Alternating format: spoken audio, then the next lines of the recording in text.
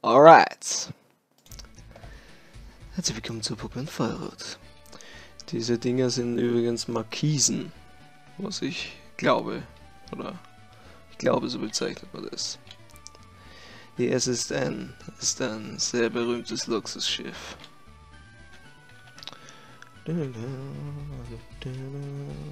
Welcome. Great. Alter, die Musik. Kindheitsträume werden wahr bei dieser Musik. Das ist einfach wunderschön. Einer der besten Soundtracks vom ganzen des ganzen Pokémon-Franchise, würde ich einmal sagen. What's going on in the cabin? Der Global Police Agent. Die Frage ist, ist es ein Vorfahre von Luca oder wie der Typ heißen hat in Diamond and Pearl? Platinum. Da gab es ja irgendeine Art von Postgame-Content mit dem Typen. Ich glaube in, war das in Sun Moon oder wo der gestrandet ist, dann auf der Insel Sun and Moon war das glaube ich, gell.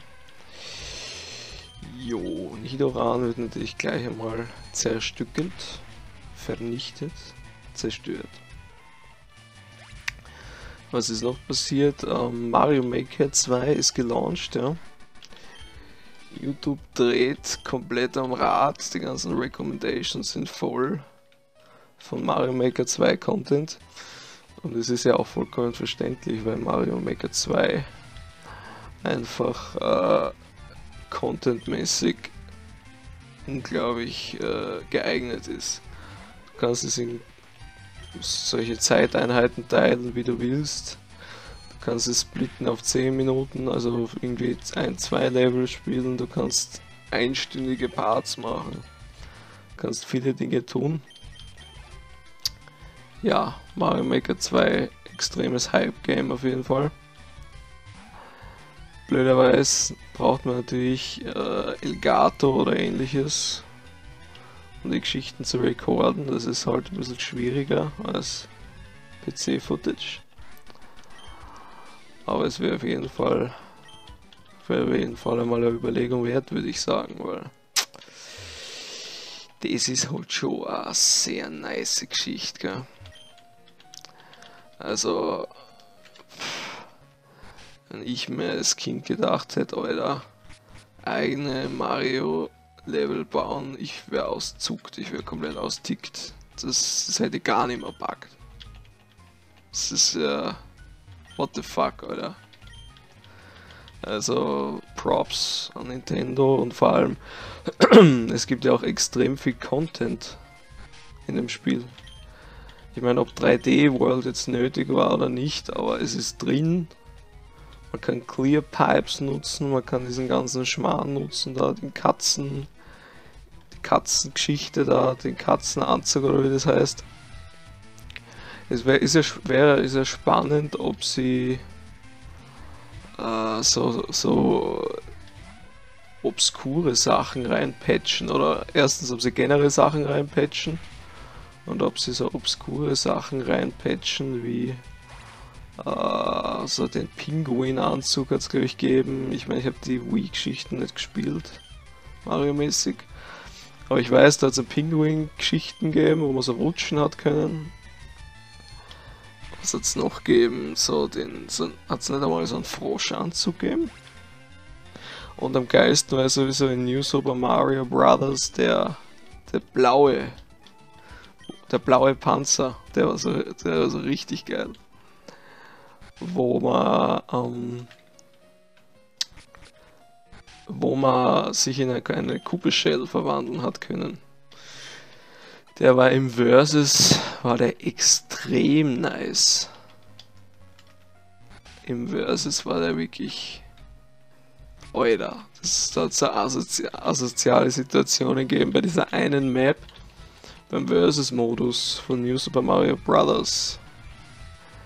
Dass es diese eine Map geben, die so richtig geil war. Wo du halt diese Dings gehabt hast diese, ähm, diese Eis, eisigen, warum setze ich jetzt Headbutt ein? diese eisigen und diesen eisigen Untergrund oder hast du immer so gerutscht. Und wenn dann der eine ins Stauchen gekommen ist und du hast Anlauf genommen mit dem mit der Cooper Shell und hast ihn einfach komplett abgeschossen und entweder in die Gruben eine oder in oder halt Damage und Tod. Also schade, dass es den Versus-Modus in der Form nicht gibt in Mario Maker 2. Es gibt zwar ein Versus, aber dieser Versus ist halt mehr so, ja, wer äh, Speedrun Versus und nicht wirklich killt euch gegenseitig. Das war richtig lustig, das habe ich haben wir saugsüchtelt mit 2DS damals. Also nicht einem 2DS, sondern mit zwei NDS-Systemen. Nintendo und ihre komischen Naming Conventions äh, bringen auf jeden Fall viel Verwirrung hinein auf 2DS-Systemen. Und das war eine richtige Gaudi. Ich kann mich noch an viele von den Maps erinnern. Die Ice Map hat es gegeben. Dann hat es eine geile Map gegeben mit so, wo nur Pipes sind. Also die könnte man gar nicht äh, rekonstruieren in Mario Maker 2, weil da ja du kannst ja die Pipes nicht mehr so überlappen. Das geht ja nicht mehr. Was schon ein bisschen schade ist, aber da waren halt lauter so Pipes und, und wenn du kleiner Mini-Mario warst, hast du halt äh, in gewisse Dings rein können. Ich glaube Mini-Mario gibt es auch nicht in Mario Maker 2, oder? Also es gibt viele Sachen nicht. Ich meine, da, da, können sie solche obskuren Sachen wie Pinguin Suit oder Eisblume oder diesen ganzen Schmarrn können es rauslassen, wenn sie dafür nur den, den Panzer und den Mini, also den blauen Panzer Power Up, das blaue Panzer Power Up und den Mini Mario reinbringen, weil die waren richtig geil. Der Mini Mario hat ja auch auf Wasser rennen können. Alter, war das nice, das Spiel. Lead a move to make meditate. Was, was ist das schnell? User raise it nah. Das ist ja für Psycho-Pokémon total unnötig. Psycho-Pokémon sind ja eher spezielle Attacker, also was die Scheiße jetzt soll, man weiß es nicht. Ja, also New Super Mario Bros. 2 auf dem 3DS war dann nicht mehr so, ja, like feisty Kids, das ist immer so creepy gewesen. Das Sequel war nicht so nice, meiner Meinung nach